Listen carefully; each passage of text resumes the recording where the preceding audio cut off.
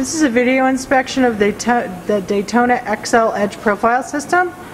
We're going to jog it through its motions and then walk around and look at the machine. Go ahead.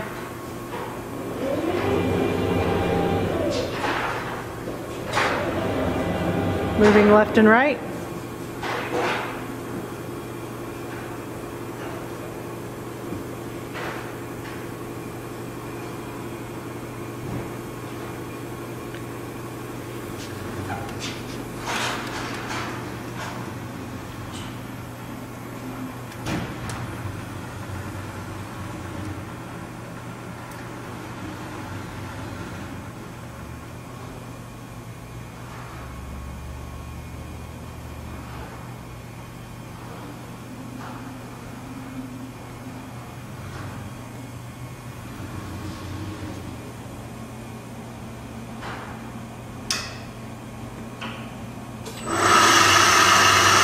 The spindle.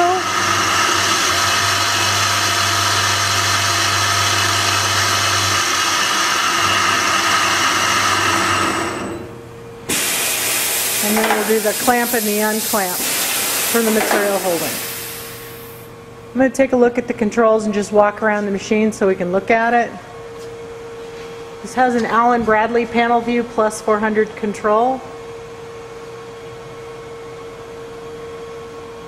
And again, we'll walk around the machine. Secondary control.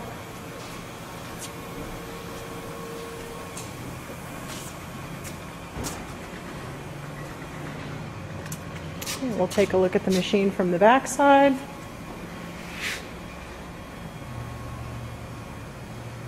And lastly, go around and look in the electrical cabinet.